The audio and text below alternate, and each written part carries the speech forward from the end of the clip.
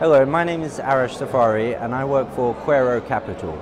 We are a fund focused on investing in smaller quoted companies across the CEE region.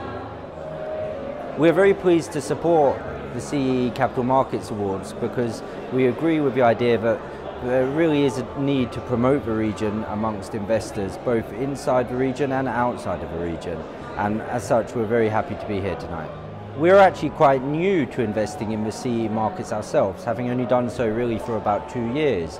But we've had a very positive experience, and our view is that actually now is a very appealing time because the reality on the ground when you meet individual companies is actually much better than the impression you get when you read the macro headlines. And as such, we feel it is actually a very appealing time to, for investors to return and start re-looking at companies in the region.